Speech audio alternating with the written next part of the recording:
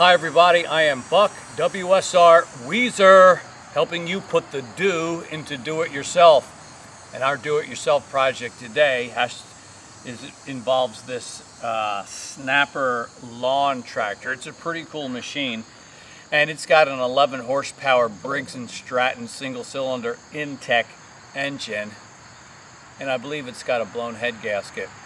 So what I want to do today is talk you through the symptoms of a blown head gasket and then I want to walk you through the steps to repair it. So let's get started. Give you a closer look at this tractor.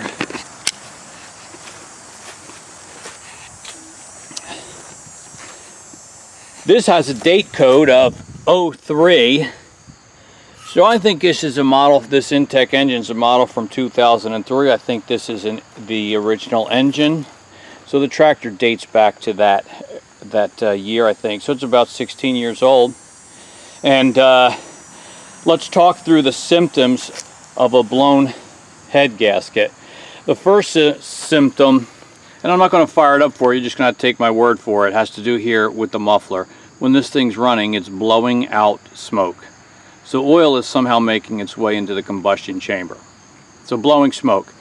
Number two, here around the cylinder head, there's evidence of oil leaking. That's symptom number two around the valve cover and around the cylinder head, oil leaking.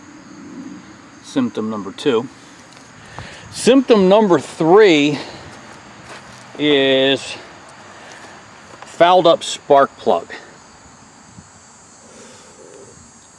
A lot of oil and grime on this spark plug and a lot of built up carbon deposits on the tip. Probably a lot of carbon deposits and buildup inside that combustion chamber as well. And then the third or I mean the fourth symptom of our blown head gasket after you shut the engine down pull the dipstick you get smoke coming out of the out of the crankcase, exhaust gases, exhaust smoke out of the dipstick tube.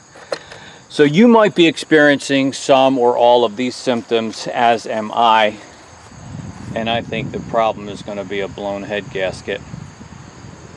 So now it's time to get to work on changing it out.